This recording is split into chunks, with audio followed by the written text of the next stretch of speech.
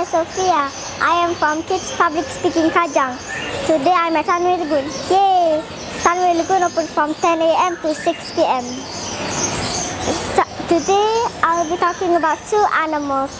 The first animal will be the black panther. Black panther live in Southeast Asia. They can live up to 17 years. They have good hearing, good eyesight, and strong jaws. They, they love to eat deer, rabbit, monkey, and birds. Black panthers can, can jump up to 20, 20 feet to attack the animals. Black panthers are great swimmers. They, can, they love running and can run up to 58 kilometers per hour. The second animal will be the gibbon.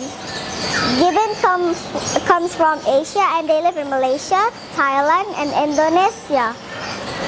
Gibbons have gibbons have few colors. There are black, dark brown and light brown. They love to eat insects, flowers, leaves and fruits. They have white hands. Gibbons swing up to another place to another place using their long arms. Gibbon loves to sing. Besides these two animals, we have many others too. Come to Sunway Lagoon and see them. Thank you Sunway Lagoon and Johan's Academy for this opportunity. Bye!